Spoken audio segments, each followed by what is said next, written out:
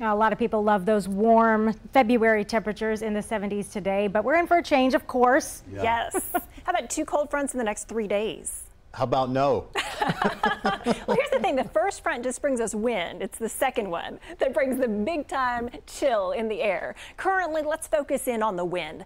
Unfortunately, because of the state of the trees all across central Texas, it won't take much of a wind gust to cause more branches to come down. Wind advisory goes into effect tonight at 6 or at 9, I should say, and continues until noontime for most of our area. And at this point, my biggest concerns will be winds out of the southwest, 20 to 30 sustained. We may see some gusts up to as high as 40 plus miles per hour. Today, though, it hasn't been that windy at all. We've only seen gusts in the 20 mile per hour range. Actually, pretty nice. Overcast skies now but we saw a good amount of sunshine earlier. 68 degrees is our current temperature. We made it to a high that felt pretty nice, up to 71 degrees.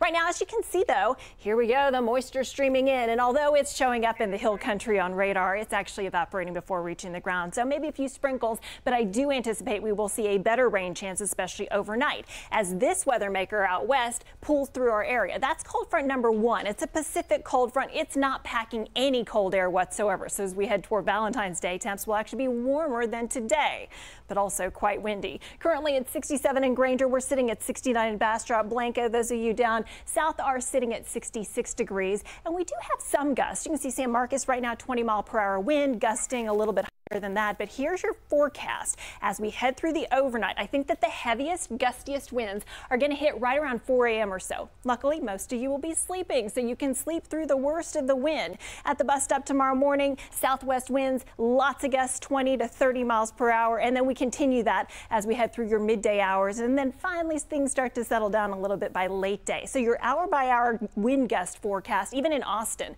we'll see a sustained wind, probably running about 20 miles per hour throughout the day. As far as temperatures are concerned, some early showers can't be ruled out. Then we hit a high temperature all the way up to 78 degrees with clouds giving way to sunshine. Some of you will also see some rain. I don't think it'll be much though. Latest computer model bringing that round in right around 6 to 7 o'clock in the morning. And then after that, we've got the sunshine in place.